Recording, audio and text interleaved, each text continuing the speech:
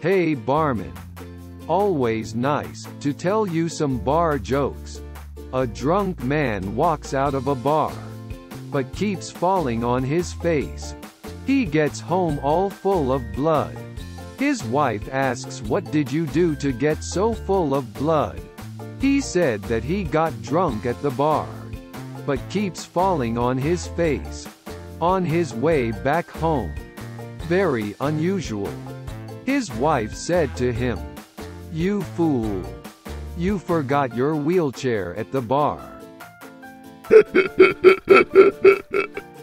Barman. A single guy sits alone at a bar and saw a beautiful single lady sitting alone at the bar. He said to her, What a coincidence.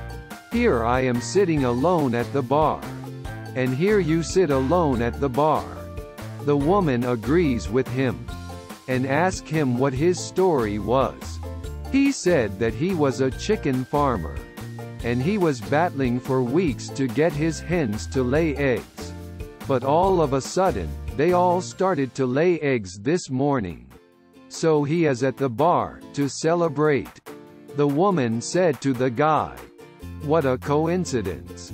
She was trying to get pregnant for almost a year. And found out this morning that she is pregnant, so she is also at the bar to celebrate.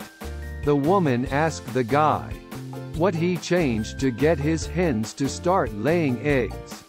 To which he replied, that he got himself another cock. The woman replied, what a coincidence. hey barman, need to get a taxi home. Had too much to drink. See you next week. Cheers.